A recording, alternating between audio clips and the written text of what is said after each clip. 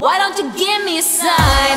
Like the sea that leaves a trail along that shore. It's not your problem, it's mine.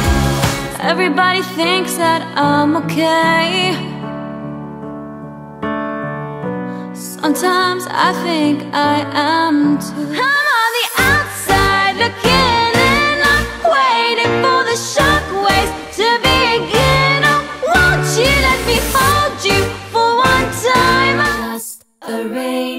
day in a London cafe. A London cafe.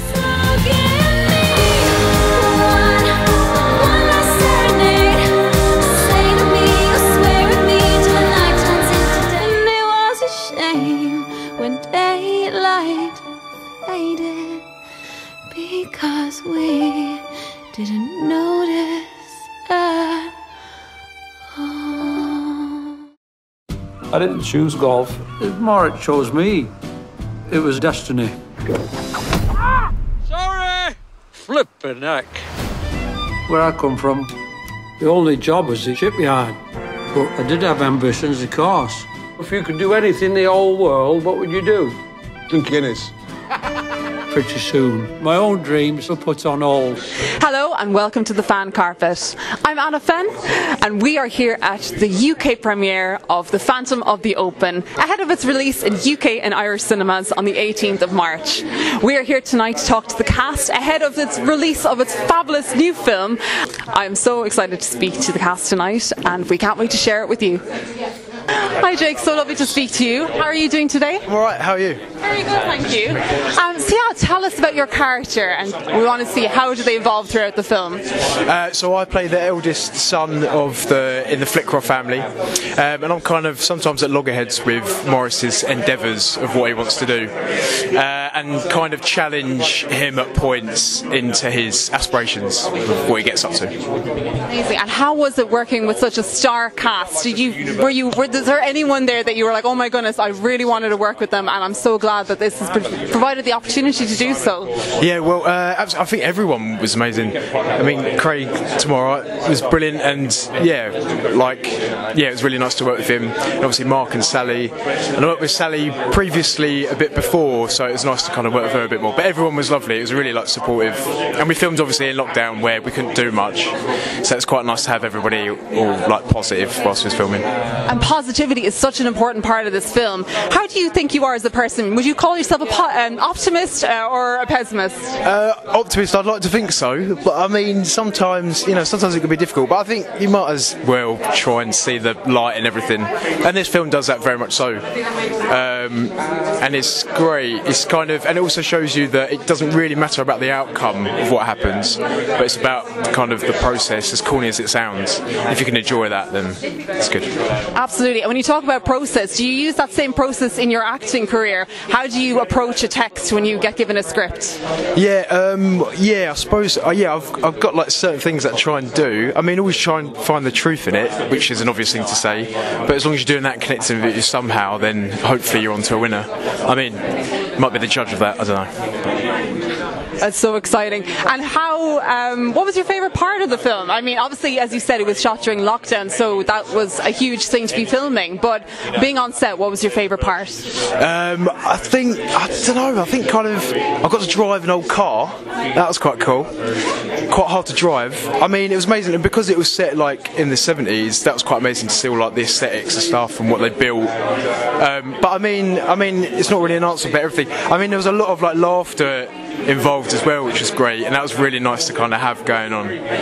Um, but yeah, yeah, it was all it was all pretty enjoyable. It seems like a really lovely family unit, like you and the other actors have created on set. Will you miss anyone out that the filming process is done? Is there anyone you still stay in contact with? Yeah, I still I now and again chat to the twins still, speak to Craig. I mean, I speak to most people still.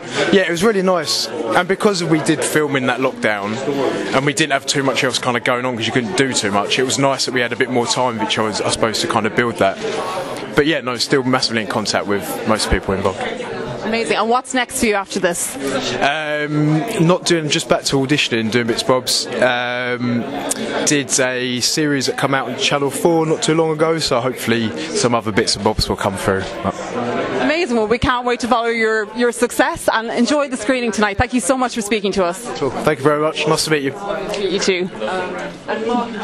Thank you for watching The Fan Carpet. Please follow us on Facebook, Twitter, and Instagram for more. Whatever happens, no one can say you didn't try. What a great opening drive. Have they got the real Maurice Flitcroft? think that's him. Morris Splitcroft. Severiano Ballesteros. You what? Solo llámame Sebe.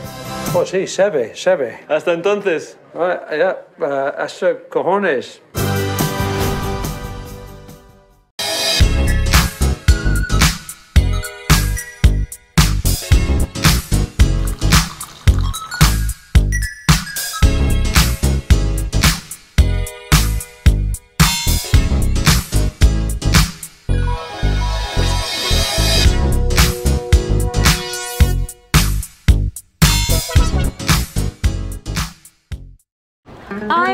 On the largest of the Balearic Islands, Mallorca, with the turquoise waters of the Mediterranean Sea, beautiful mountainous landscape, the thriving city of Palma, quaint little market towns, a growing number of luxury hotels.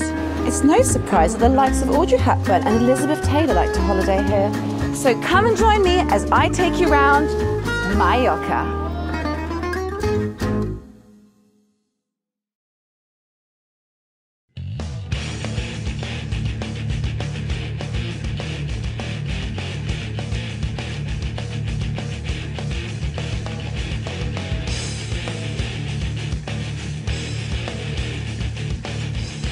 Thank you for watching the fan carpet. If you like this video, be sure to click that thumbs up button at the bottom of your screen.